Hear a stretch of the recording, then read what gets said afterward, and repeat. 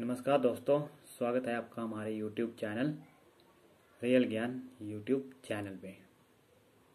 दोस्तों, आज हम आपके लिए टमाटर के साथ ये टोटका लेकर आए हैं, जिसको आपने इस टमाटर के साथ करना है। दोस्तों, करना कैसे है? आपने इस टमाटर के ऊपर उसका नाम लिखना है, जिसका आपने वशीकरण करना है। ठीक है दोस्तों टमाटर के ऊपर आपने उसका नाम लिखना है, जिसका आपने वशीकरण करना है। और उसके बाद आपने क्या करना है, आपको एक मंत्र दिया जाएगा। उस मंत्र का जाप आपने करना है। मंत्र का जाप आपने ग्यारह बार करना है, अपने मन में ही।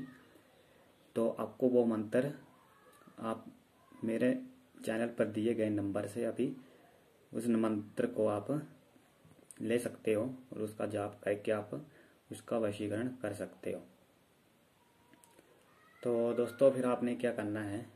मंत्र का जाप करने के बाद अपने इस टमाटर को उसके घर के बाहर रखाना है। ठीक है दोस्तों?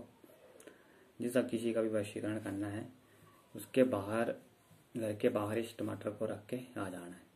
आपका ये टोटका पूरा हो जाएगा। तो ये था आज हमारा छोटा सा टोटका आपके लिए। अगर इस टोटके की जानकारी पता नहीं चली हो तो नीचे दिए गए नंबर पर अभी संपर्क करें। धन्यवाद। जय माता दी।